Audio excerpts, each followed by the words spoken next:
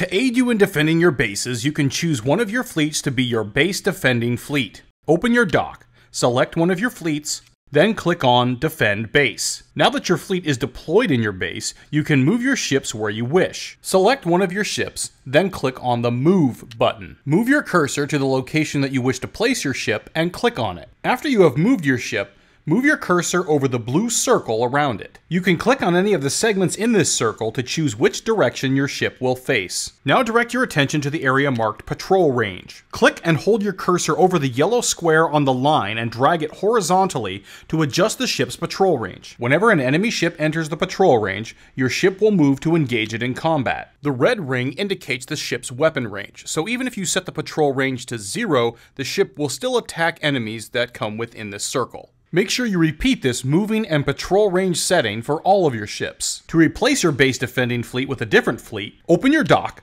select the fleet that is currently defending, then click Recall Fleet. Now select another fleet and click Defend Base. You'll notice that your new base defending fleet will be in the same position as the previous fleet was in. Your defending fleet positions will always be saved for you. Use your base defensive fleet together with your defensive turrets and you'll maximize the effectiveness of your base defenses.